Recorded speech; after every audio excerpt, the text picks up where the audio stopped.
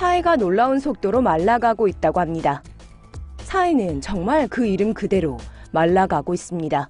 매년 눈에 띌 정도로 수면이 낮아지고 있는 것입니다. 사해는 정말 말라서 사라질 지경에 이른 듯합니다. 사해는 이스라엘, 요르단, 그리고 웨스트뱅크 사이에 위치하고 있으며 지구상에서 가장 수면이 낮습니다. 수년에 걸쳐 사해는 이미 표면의 3분의 1 이상을 잃었습니다. 수면은 현재 매년 1m 이상씩 감소하고 있습니다. 그 해안선은 2020년이 되면 해수면 아래로의 거리가 411m에서 430m가 될 것으로 예상하고 있습니다. 원래 요르단강은 사해의 유입 원천이었습니다.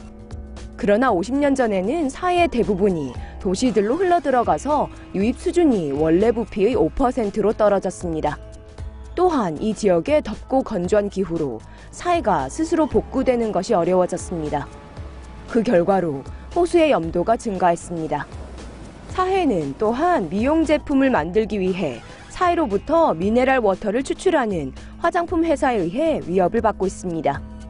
사해가 그 어떠한 야생동물들의 고향도 아니긴 하지만 사해 근처 지역은 아이벡스라는 염소, 표범, 그리고 토착종인 사해 참새와 같은 위기에 처한 몇몇 종들의 기반이 되어왔던 것으로 알려져 있습니다. 사해만이 위험에 직면한 것이 아닙니다. 중앙아시아의 아랄해, 아프리카의 차드호, 캘리포니아의 솔턴호와 같은 다른 호수들도 또한 말라가고 있다고 합니다.